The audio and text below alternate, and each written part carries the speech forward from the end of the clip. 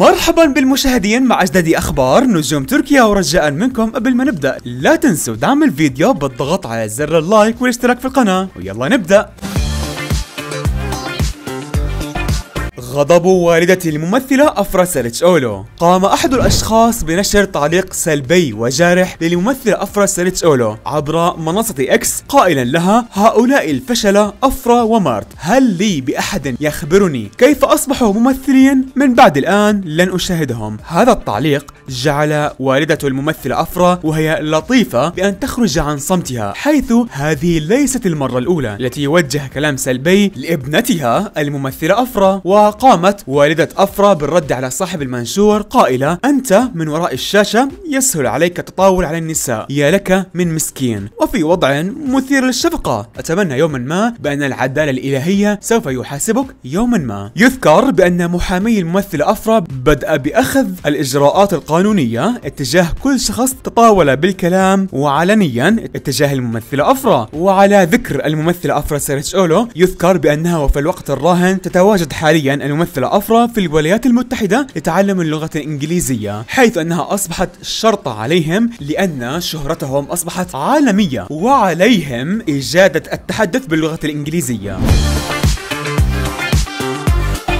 هل سوف يتغيب أردا عن اللعب في مباريات ريال مدريد؟ السن الحادي والعشرون هو العمر الذي يجب فيه على كل مواطن تركي الالتحاق بالخدمة العسكرية الإلزامية أي أنه بموجب القانون التركي يجب وفي نهاية العام القادم على اللاعب التركي أردا جولار والذي انضم لنادي ريال مدريد في العام الماضي الالتحاق بالخدمة العسكرية ومدتها ستة أشهر ولكن أردا أتمم فقط عامه الأول مع ريال مدريد حيث وبتاريخ يوم البارحة الثامن عشر من شهر يوليو يكون مضي سنة على انضمامه لريال مدريد وغيابه عن الفريق يعتبر ممنوع. لذلك ولأول مرة في القانون التركي. صدر القرار بإعفاء أردا من الخدمة العسكرية ولا يجب عليه تأدية واجبه الوطني السنة المقبلة ويستطيع تأجيل الخدمة إلى أي عمر يريده هو. على عكس الممثلين الأتراك الذين لم يستطيعوا تأجيل الخدمة العسكرية أكثر.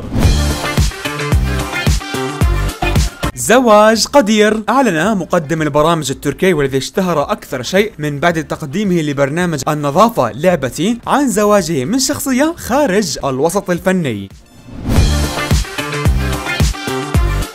ولادة الممثلة بورجو برجك وخلال الأيام الماضية أعلنت عائلة الممثلة بورجو برجك عن ولادة ابنتهم الممثلة بورجو وأنجبت طفلة وأطلقوا عليها اسم لونا.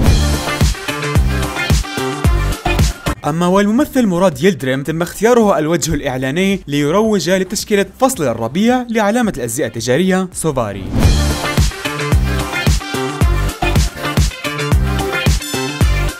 Vallahi ben de bilmiyorum. Şimdilik yok bir şey. Bir küskünlük mü var Ne acaba? küskünlüğü olacak ya? Yorgunum ya. Dinleniyorum. Neden biraz. yorgun? Ya yani yoksa ne de ya sıkıntı yok şey. e, yani ne bileyim böyle arda arda bir sürü proje yaptık. O da yorucu oluyor biliyorsun ya. Set çalışma temposunu, set temposunu. Yorucu oluyor. Biraz böyle bir kendime zaman ayırıyorum. Evliliği ne zaman düşünürsünüz? Ha, şimdilik yok bir şey çocuklar. Sağ olun. وصلت سلامكم يعني كنت دا احكي اني والهان هسه دا اقول له الهان اذا تشوف ايش قد عندك جمهور عربي تنصدم له متابعيني كلهم كل شوي يكتبوا لي عنك. وراويته شوي مسجات قام يضحك قال لي والله زهراء راواني انستغرام مالته. قال لي زهراء شوفي. قال لي كل ال direct message مالتي آه، من ال Middle East. شو أحكي لكم؟ إيش قد أنتم تحبوه على الميديا؟ على الحقيقة أضعف أكيد من هيج إنسان ما شافه بحياتي. حاير بالكل يسولف دمه حلو. عليه سوالف تخبط الضحك تموت من الضحك. يعني أني الكرامانات كلها سمعت صوتي من الضحك. كلش كلش كلش إنسان يجنن. يعني بمعنى الكلمة. آه، صرنا كوش أصدقاء هيك ياخذ على الجو بسرعة اجتماعي يحب يسولف آه، خدوم. أني أقوم أجيب لكم فلان خلي أسوي فلان. يعني ماكو شخصية بصراحة.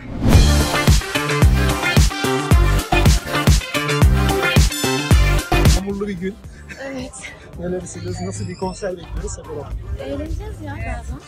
Arkadaşımızın konseri bol dans geldi. edeceğiz herhalde. Aynen öyle. Sizler neler yapıyorsunuz? Yaz nasıl geçiyor sizler için? Yeni tatilden döndüm ben. Güzel dinleniyorum. Neredeydiniz efendim? Bali'deydim. Bali'deydiniz. Evet. Yurt dışı nasıl? Yurt içinden daha iyi galiba seçenek olarak artık. Yurt dışı da güzel, yurt dışı da güzel. E, güzel de bir tatil geçirdiniz. Buse Hanım sizden başlayalım. Nasıl geçti Bali tatili? Çok güzel geçti. Hı hı. Güzel dinlendim, eğlendim. Dolaştım. Farklı. Güzel bir, güzel geçti. E, bunun dışında siz neler yapıyorsunuz? Gatlar da bitti. Gatlar da bitti. Çok evet. kısa konuşalım ben onun tatildeyim şu an ya. Eğleniyorum, arkadaşlarımla vakit geçiriyorum. Konserler, tatiller benim için böyle geçiyor. Var mı yaza yeni hani döneme hazırlıklar okuduğunuz bir şey? Var, görüştüğüm kişiler var benim de. Yeni sezonda 35 tane yeni dizi, dizi girecekmiş. Ciddi bir erozyon olacak yine. Bu gözünüzü korkutuyor mu? Yani tekrar 3. bölümde, 4. bölümde biten diziler olacak muhakkak. Hep oluyor. Olacak gibi illa. Yani reyting korkusu var mı? Yani bilmem. Her zaman olan şeyler ondan dolayı. Rabia Hanım siz neler söyleyeceksiniz? Siz de Samet Bey ile beraber görüntülendiniz yaz tatilinde. Çok güzel görüntüler de çıktı ortaya. Neler söyleyeceksiniz? Nasıl gidiyor ilişki, beraberlik? Güzel gidiyor. Zaman da güzel gidiyor. Arkadaşlarımla güzel keyifli vakit geçiriyorum. Tatilim de güzel gidiyor. Yakın zamanda inşallah çalışırım. Ee, bir de çok proje var. Ee, güzel bir e, sene bizi bekliyor bence. Tekrardan bir ara tatil olacak peki beraber Yok hayır. olmayacak. Buse Hanım Evet. son olarak size dönmek istiyorum. Ee, birinci ağızdan sizden duyalım. Aras Bey'le de ayrıldığınıza dair iddialar var. Siz neler söyleyeceksiniz? Bunu bir sizden duyalım. Birinci ağızdan sormak Teşekkür ederim. Özel hayatımla ilgili konuşmayacağım. Çok sağ olun.